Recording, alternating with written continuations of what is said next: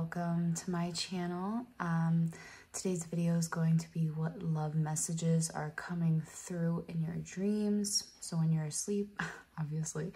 Um, this is going to be like, uh, you know, we have dreams where we don't quite understand like the messages, like the underlying messages um, it's just very weird dreams. So this is why I like to kind of do dream pick a cards once in a while because it really helps clarify a lot of things, you know.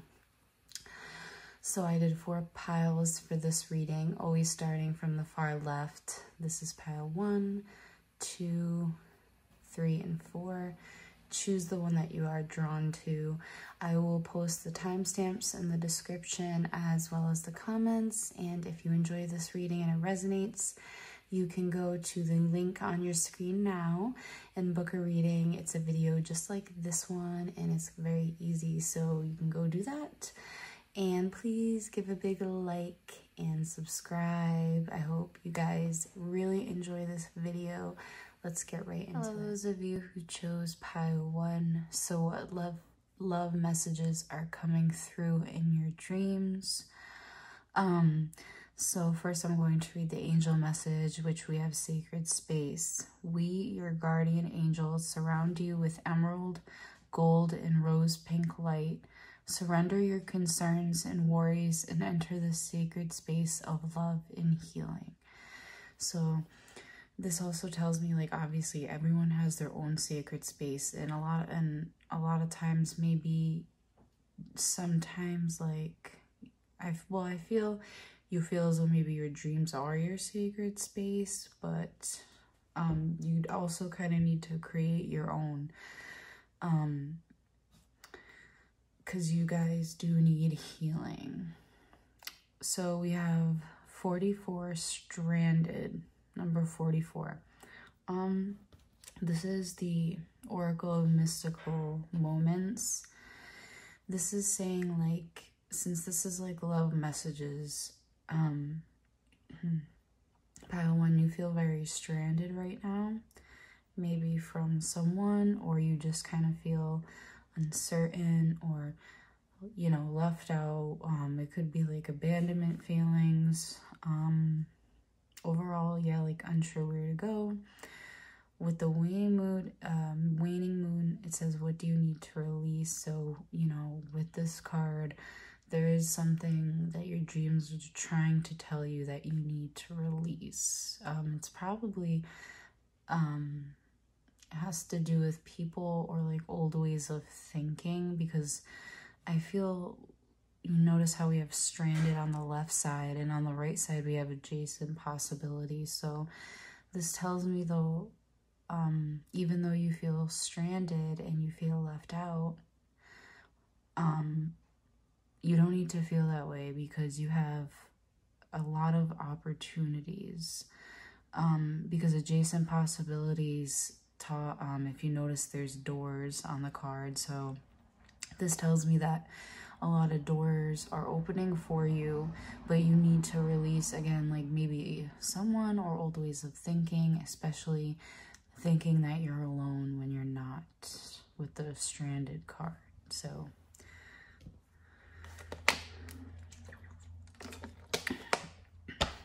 there's that. We'll see the tarot cards which we have uh, Three of Swords, and it's funny because, well, it's not funny, but I actually saw the Broken Heart energy card, and it, like, was out. Oh, actually, it's right here. And I was like, it, it was out, but I didn't pull it for any of the piles, so it must have fell out, and I didn't realize. And it's just funny that I see Three Swords, like, for pile one. Then we have King of Swords.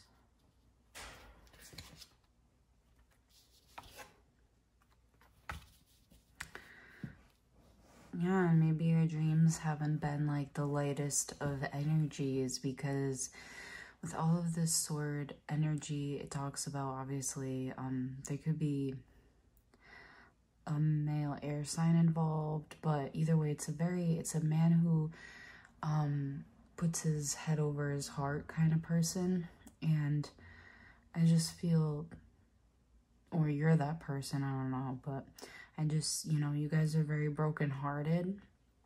And I feel you, um, your dreams kind of, that's why, I don't know, like if you've been having nightmares or just not the greatest dreams, I feel for a lot of you, too, with the Nine of Swords, you're just overthinking and causing yourself a lot of anxiety. Um, so with Two of Pentacles, that's why, you know, a message is coming through for you to kind of like balance yourself in that sense because with the overthinking and um, worrying, it's, I feel again, like weighing you down and you feel as though, you know, maybe you can't go on without someone, maybe this person, but this is telling you that's not true. You know, you have so many options. You are an amazing person. You know, you're not stranded.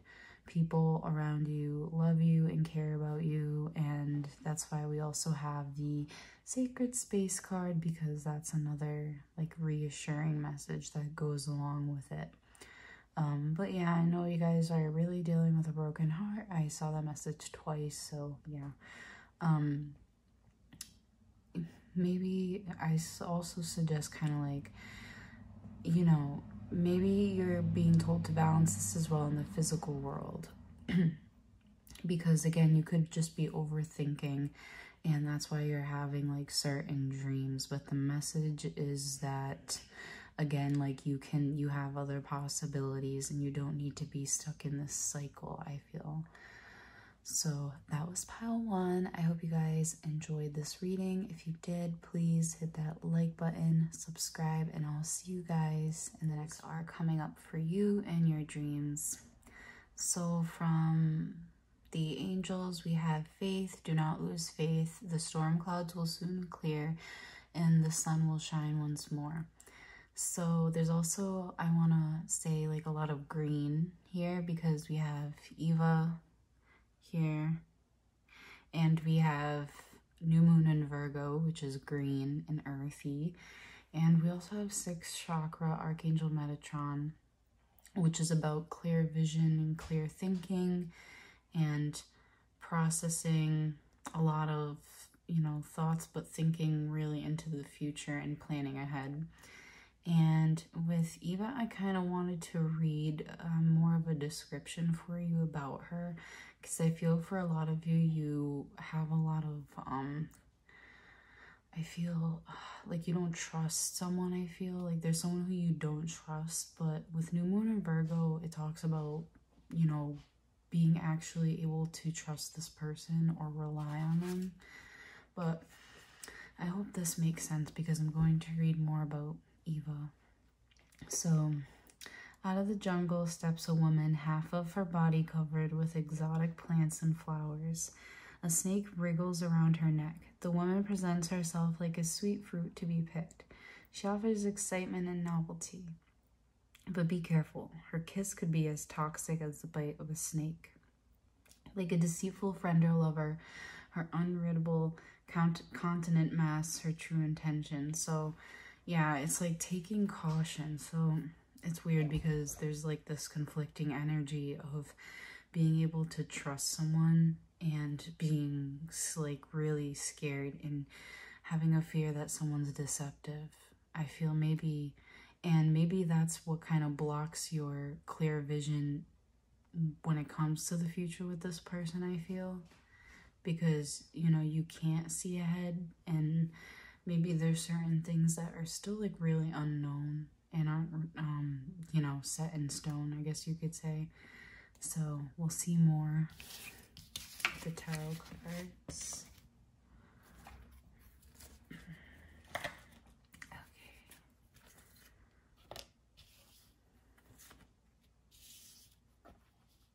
Well, yeah.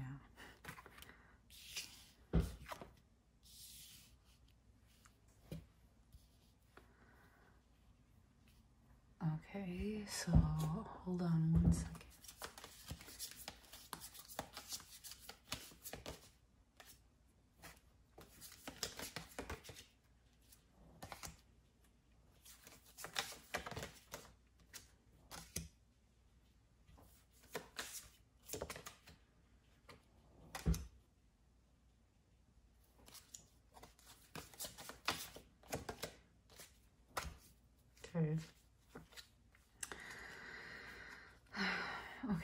So the reason why you've been getting these messages in your dream or like conflicting energy is because a lot of you again cannot make a decision. With the two of swords you're very confused about whether or not you like what you want to believe about this other person um or what you want to believe about love in general. And that's why you're being told not to lose faith with five of pentacles um yeah it's like you guys have like you have little to no hope when it comes to this person or like because again maybe you feel like uh like you were left out in the cold but i feel like you could be going through it and that's why you're told not to lose the faith. And then nine of wands talks about you know, someone who's very like I, like I feel you you are very guarded with the nine of wands. Um, and also actually now that I think about it, nine of wands next to the four of pentacles is someone who's really, really guarded. No wonder why. So that's why you're getting these conflicted messages because you're too guarded. I feel you guys are way too guarded because the nine of wands is someone who, you know, he's he's he has strong energy for sure and you know they're the lion and they're like serious. But then the four of pentacles also is like someone who's very to themselves and like unable well unwilling sorry not unable but unwilling to open up. So interesting okay. So what else? So i kind of asked if you can trust this person. Oh and we have princess of swords Four Cups. Ace of Cups. Okay. Ace of Pentacles and High Priestess. Um. so Princess of Swords is someone who is very honest. So kind of right away, I get like this person would be honest about how they're feeling and then the high priestess is actually, like, I want to jump over there, but she is actually someone who you can trust. So I, it's like um, the keeper of secrets. So right away, like, you know, when I see that and I ask, like, can you trust this person? It's like a yes, because um, it's someone who is, you know, who has silence, but, you know, And then with the Ace of Cups and the Ace of Pentacles, yeah, I believe also if you're questioning like um, how a new beginning would go, or or if you know you haven't actually been with this person, um, how it will go, I feel it would be very promising because I feel this person, um, they're I feel they're not like how you think they are, and they're not like you right now. I feel they're actually very willing um, for a new stable beginning. And again, with the four cups, they're actually, they're not that way. Like they, they actually are willing to receive. And I feel the four cups only came out because again, this is like how you see them. And then the ace of cups is how they are as well with the ace of pentacles. So someone who is, um, yeah, I feel just not who you think they are. I just feel this person definitely would be honest and would be able to, again, keep any secrets. So, let me see what else I can get. okay, so it's like, yeah, with the Four Cups, it does also talk about like, um, I want to point out uncertain feelings.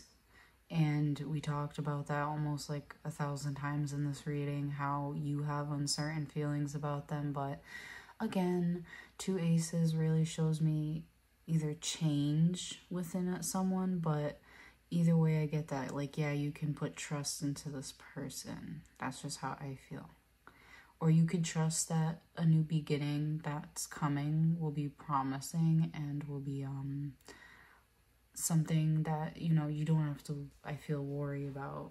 And you'll maybe with the high priestess and she's intuitive have an inner knowing you know So hopefully this helped. That was pile two. I hope you enjoyed this reading. If you did, please hit that like button, subscribe, and I'll see you in the next one. Bye guys. That was pile three. So for the angel message, we have Blue Angel, which is Archangel Michael. So I, Archangel Michael, am here by your side.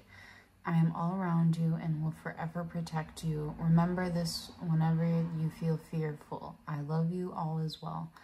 So we also have Miss Sunshine, full moon in Aries, a fiery climax approaches, and indecision. So with Miss Sunshine, it talks about having clarity and it talks about like balance and someone who does bring sunshine to others and I feel um,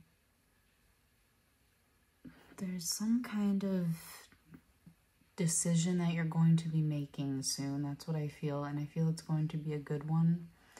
I feel also, and it like I feel this is when it comes to love.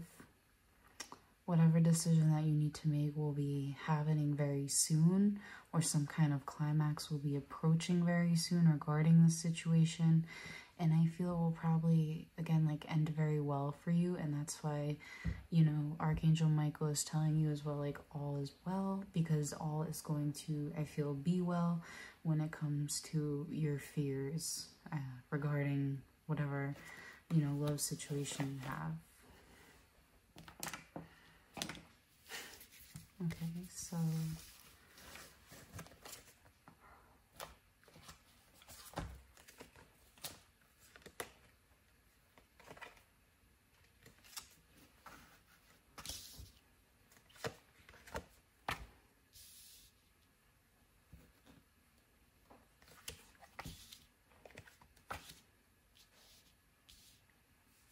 Okay, so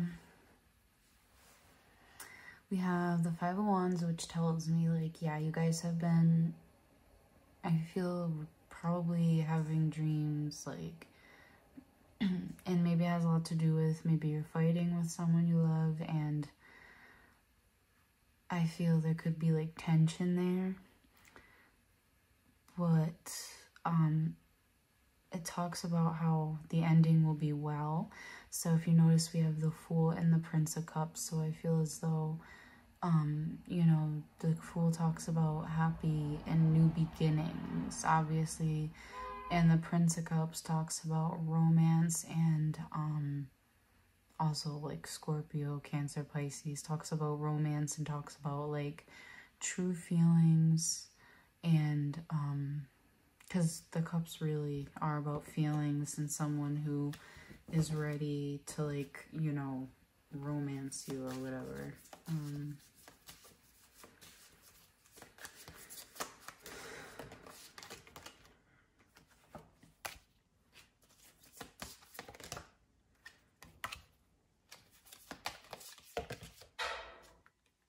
Oh, I saw the Princess of Pentacles. Uh, yeah, I feel, I feel, um, again, like a lot is going to come to light. We also have the Princess of Pentacles, which actually I just saw her. So that's like a earth sign female. And then we also have a male earth sign. But then we have Judgment, again, which talks about some kind of renewal. I feel it could be like, again, unexpected because the moon talks about hidden messages and like following your intuition, but mainly just about things that like like are like you can't see right now. But um let's see. Let's see advice.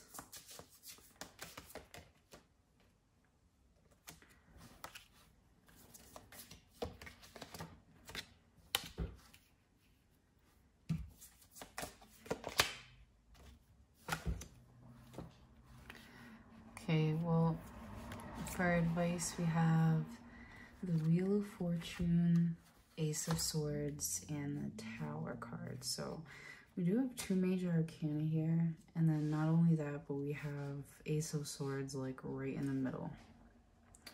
Um, so the advice has to do with, you know, Wheel of Fortune talks about higher higher power. It talks about, you know, endings. But I feel with the advice, it's saying to kind of maybe gain clarity and think logically about what you want to do next because again like something was probably something probably happened where you know it i don't want to say like destroyed you on the inside but it you know shook you up a lot with the tower tower tarot tower tower tower card.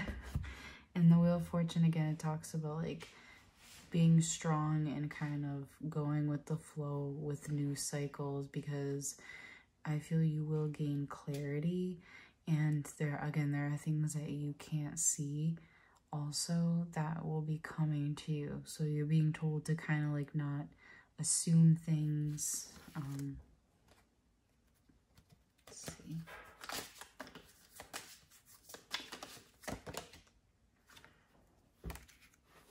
Yeah, keep hoping, keep looking on the bright side.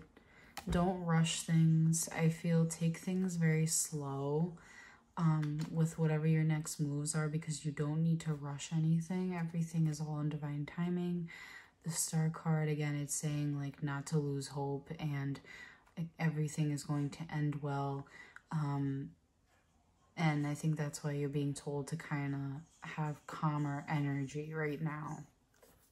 Um, yeah, I feel there's a lot of movement. Yeah, and also temperance working on inner balance. And even with the star and temperance, they're very calming cards. So maybe a lot of you have, um, and even blue, the color blue is very calming. So maybe a lot of you need to kind of really relax and maybe do self-care, that kind of thing. Because again, there's things that you cannot control right now that will eventually be unveiled and I feel again all will be well within the situation.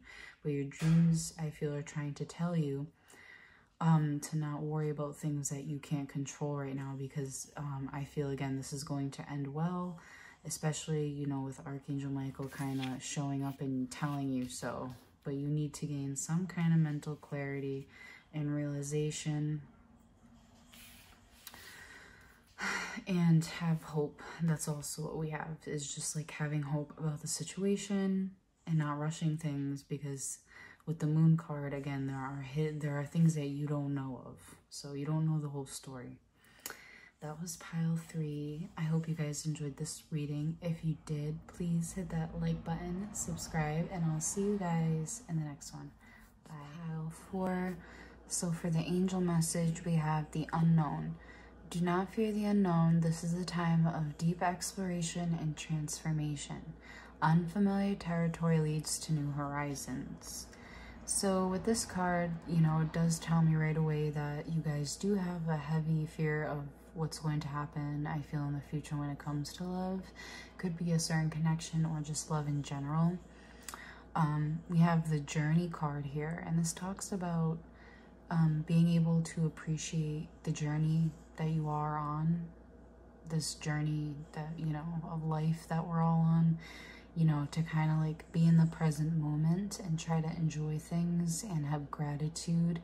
Um, yeah, like really being present. Because for the energy, I want to say we have all tied up, which is like someone obviously who's very restricted and someone who is stuck, just stuck, I feel. And it could be mentally because we also have disseminating moon so you're being called to take time to breathe out because I feel there's a lot that you haven't processed yet or fully processed or um, examine the situation from a higher or a different perspective, you know, and also, yeah, you just, you really need to take a time to breathe out because for a lot of you, you know, again, you're like putting too much pressure on yourself, and I feel you might be tying yourself up um, with, you know, certain thoughts. So, see what else Okay.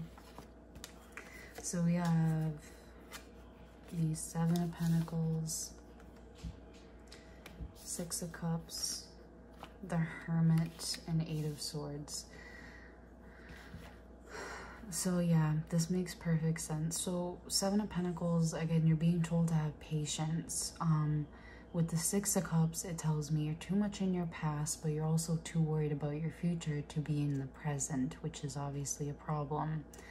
Um, with the Hermit and Eight of Swords, you've also kind of been distancing yourself from others, and I don't feel it's really in a good way. I feel it's actually affected you negatively because, again, you've kind of tied yourself up mentally um, and restricted yourself because with the Eight of Swords, this also talks about mental restriction and again, like tying yourself up because in the, the traditional Rider Waite, this would show a woman who's tied up.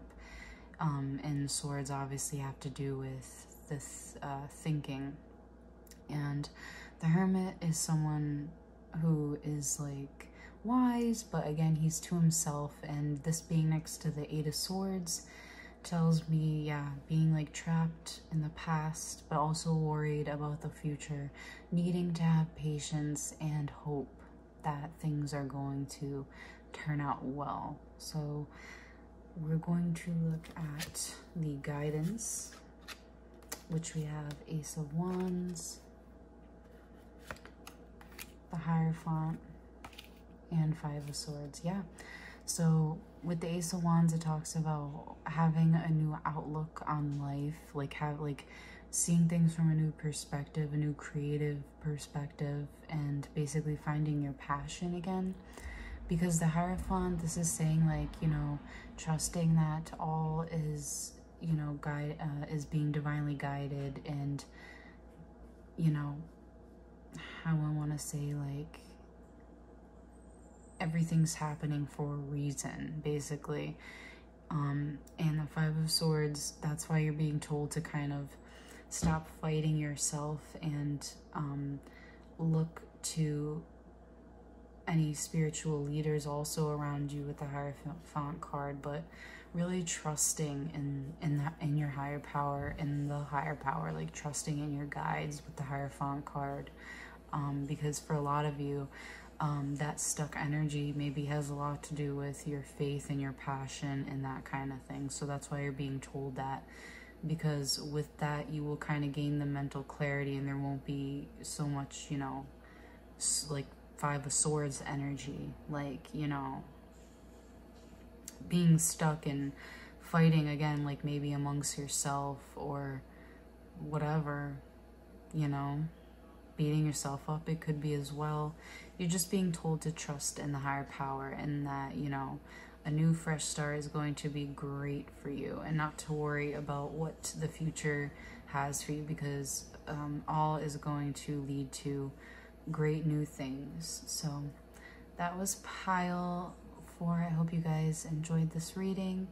Um, if you did, please hit that like button, subscribe, and I'll see you guys in the next one. Bye.